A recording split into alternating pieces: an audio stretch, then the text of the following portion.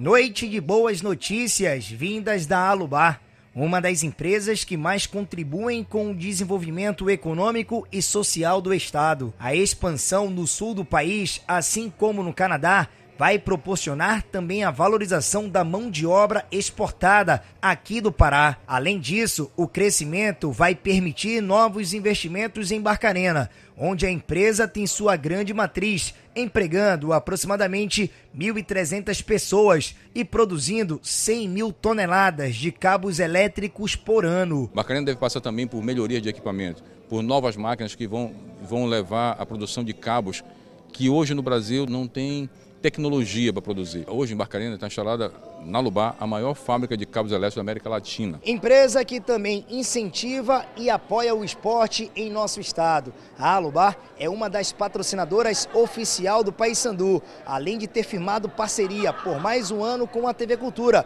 na transmissão do Campeonato Paraense de Futebol. O evento aconteceu na Casa Rosada, prédio localizado no bairro da Cidade Velha, em Belém. Para o, o nosso público é algo essencial essencial, né?